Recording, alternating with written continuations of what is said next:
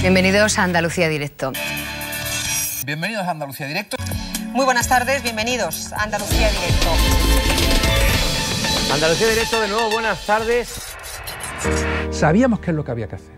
Sabemos que íbamos a enseñar Andalucía como nunca se había visto. Muy pronto en Canal Sur vas a ver Andalucía como nunca la has visto. El reto era tremendo y no se sabía muy bien cómo iba a responder, que todos los andaluces se interesaran en ese momento por todo lo que pasaba en el resto de las provincias.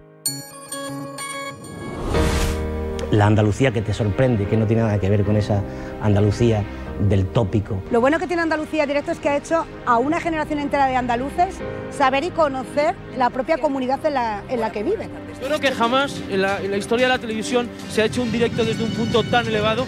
Yo creo que Andalucía Directo consiguió la vertebración de Andalucía. Pocos programas en televisión aguantan 20 años en antena y aún menos si la emisión es diaria.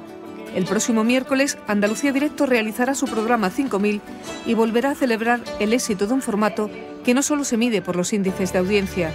Fueron pioneros en el tratamiento de la información cercana en un lenguaje televisivo próximo. Ha sido escuela y universidad de cientos de profesionales y lo ha hecho desde Andalucía, sin complejos.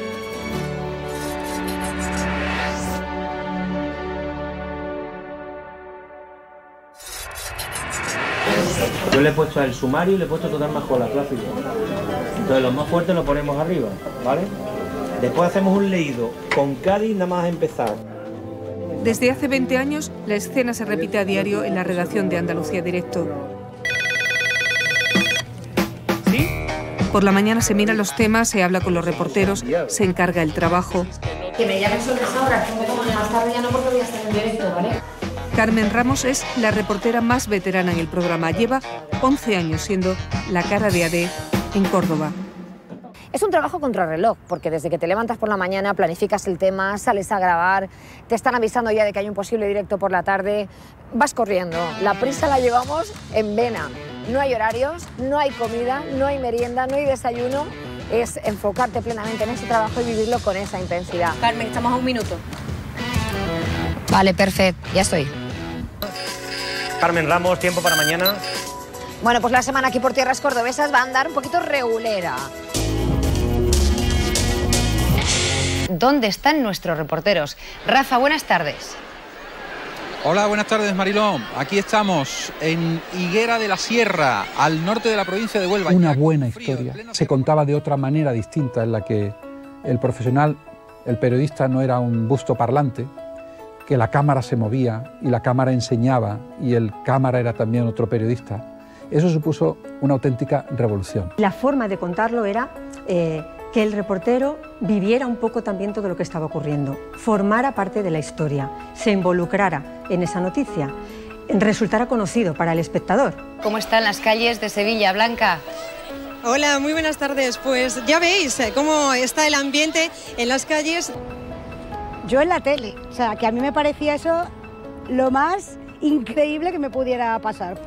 El primer día fue horrible, Cabalgata de Reyes en Castril, 5 de enero del 98, me quería morir. Y la mayoría no ha querido dejar la- las cartas en un buzón porque querían ver a los reyes y poder tomar contacto con ellos. Mariló, ya te oigo fatal.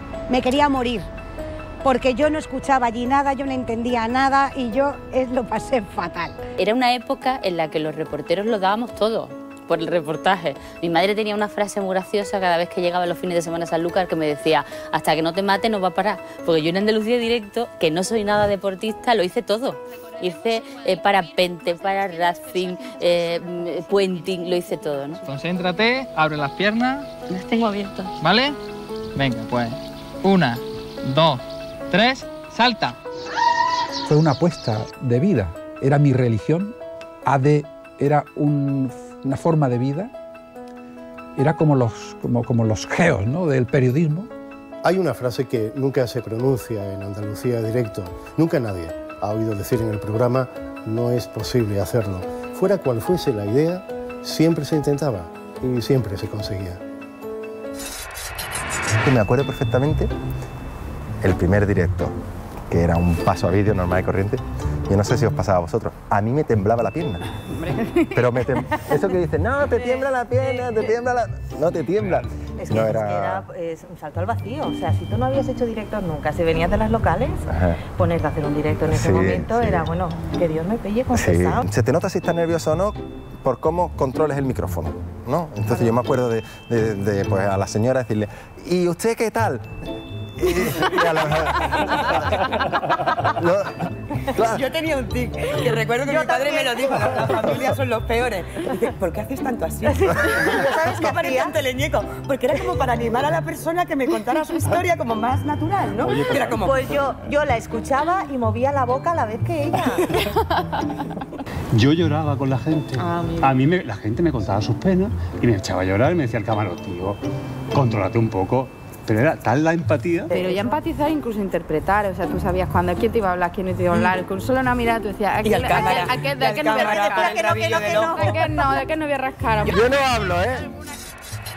De la complejidad técnica era, era mayúscula, el esfuerzo era titánico. Esta es la parabólica, la gran antena, esta gran paellera que hace posible que parte de lo que vamos a enseñar a partir de ahora en este programa sea posible. En aquel momento Andalucía Directo disponía de tres unidades móviles que había que distribuir en un espacio geográfico tan amplio como Andalucía, de forma que cada unidad diera, al menos en cada programa, dos conexiones en dos localizaciones diferentes, naturalmente alejadas entre sí. Eh, había que hacer los directos con enlaces terrestres, para quien no lo sepa, es que es una antena que tiene que ver el receptor. Tenemos que ir a lo mejor cinco personas para colocar lo que es el enlace. Pedir permiso en una azotea, trasladar un equipo humano y técnico, un equipo muy, muy pesado. A lo largo de nuestro programa veremos Quizá el mayor alarde de Andalucía Directo en aquellos años fue la Semana Santa de 2005. ¿Hasta dónde éramos capaces de llegar? Fuimos capaces de hacer 266 conexiones en directo en solo una semana, con casi un centenar de cofradías por toda Andalucía.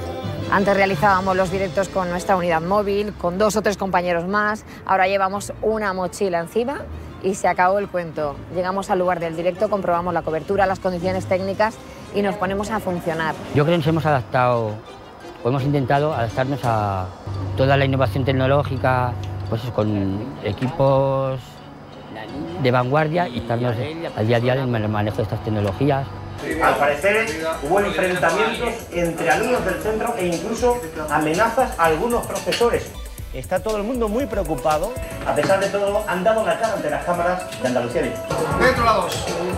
Ha cambiado la forma de hacer televisión. Andalucía Directo hoy es más dinámica, es más rápida, utilizan más las nuevas tecnologías, tenemos más tiempo de directo.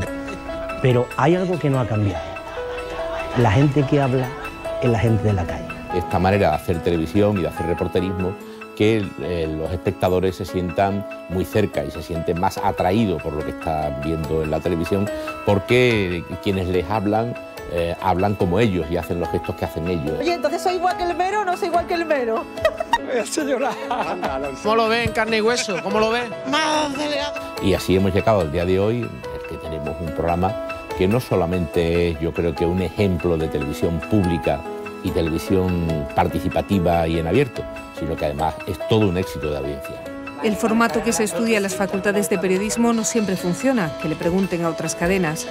Hoy AD está asentado, se cuela cada tarde en los hogares de los andaluces, ha conseguido el interés del público joven y está presente con fuerza en las redes sociales.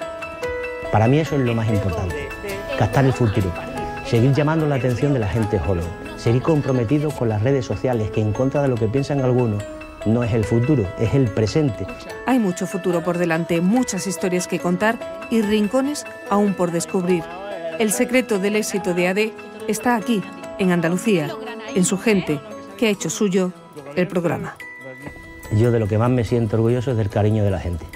Andalucía Directo lo teníamos metido aquí. Andalucía Directo consiguió que se viera Andalucía como, como una sola.